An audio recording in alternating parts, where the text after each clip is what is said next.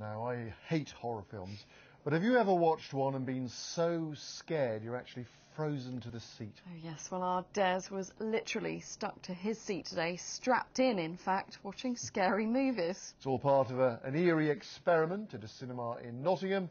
Here's Des to explain more. You know, when I took this assignment, I jumped in with both feet. I ain't got a clue what's going on. All I know is that I'm going to be prodded, I'm going to be probed, I'm going to be tested as to my scare ability. And it all starts right here. Dr. Dare, our patient, Des. Hello, Des.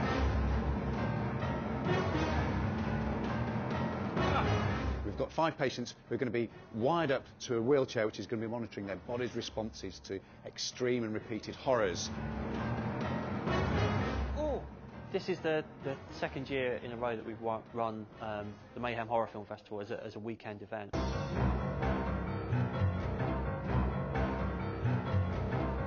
Members of the public are invited down to the cinema to see these live experiments projected outside the auditorium real time, just that they'll get an idea of the horrors that have been experienced inside the auditorium as our patients are watching some of the UK's most scary horror films.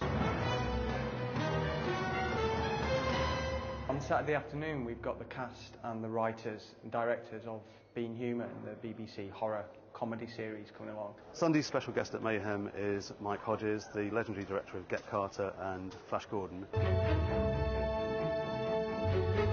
ready for your final film? yeah, Des? yeah, yeah. Bring it. Go. Top shelf, most horrific film we could find. Okay, go on, I'm Here we go.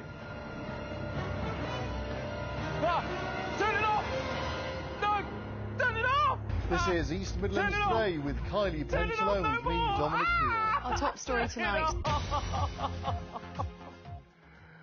We didn't, we didn't know that was coming up. We're going to have words about that. But this is scary. Desdino was actually named On-Screen Personality of the Year at the Midlands Royal Television Society Awards in Birmingham last night. Hmm, well done to him. You weren't nominated then?